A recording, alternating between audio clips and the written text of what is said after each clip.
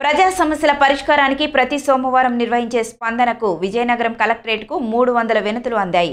ఈ వినతులను జిల్లా కలెక్టర్ ఏ సూర్యకుమారి సంయుక్త కలెక్టర్లు JC Kishore Kumar Mahesh Kumar housing JC Mayur Ashok DRO Ganapathirao DPM Padmavathi స్వీకరించి సంబంధిత శాఖల అధికారులకు అందజేశారు. అనంతరం జిల్లా కలెక్టర్ మాట్లాడుతూ స్పందన వినతులను తక్షణమే పరిష్కారం చేయాలని అధికారులకు ఆదేశించారు.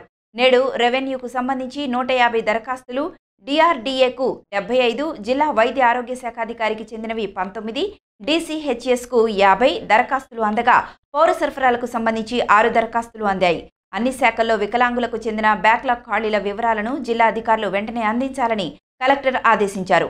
పోస్ట్ పేరుతో సహా రోస్టర్ పాయింట్ విద్యార్హతలు తదితర వివరాలను కూడా అందులో పేర్కొనాలన్నారు.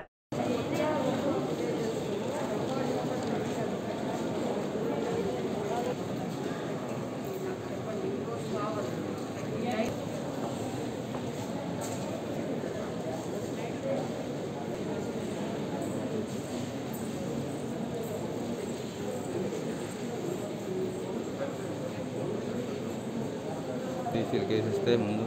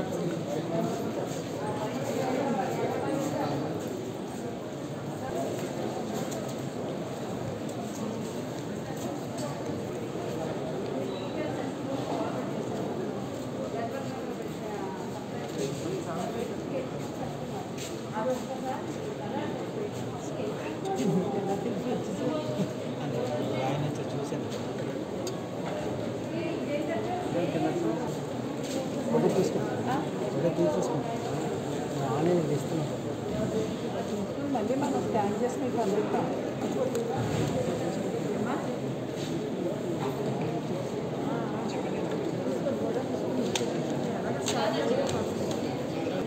ఫస్ట్ టైం పెట్టుకోవడం